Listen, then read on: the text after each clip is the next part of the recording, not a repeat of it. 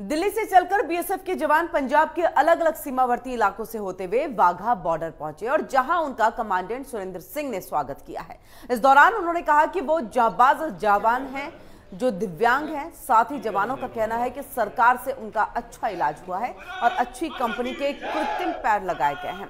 इसलिए आज वो सबके साथ दौड़ रहे हैं। इस रैली में कांस्टेबल से लेकर के उच्च अधिकारी, रैंक के अधिकारी भी शामिल हुए।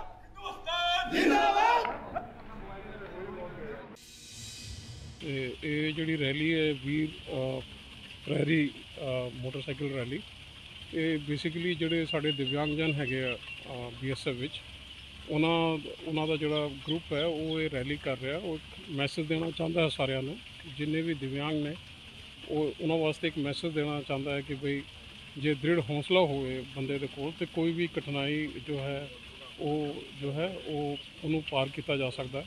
ਤੇ ਕੋਈ ਵੀ ਇਹੋ ਜਿਹੀ ਚੀਜ਼ ਨਹੀਂ ਹੈ ਜੋ ਮਤਲਬ ਕਿ ਹਾਸਿਲ ਨਹੀਂ ਕੀਤੀ ਜਾ ਸਕਦੀ। ਤੇ ਹੌਸਲੇ ਨਾਲ ਸਾਰਾ ਕੁਝ ਕੀਤਾ ਜਾ ਸਕਦਾ ਹੈ।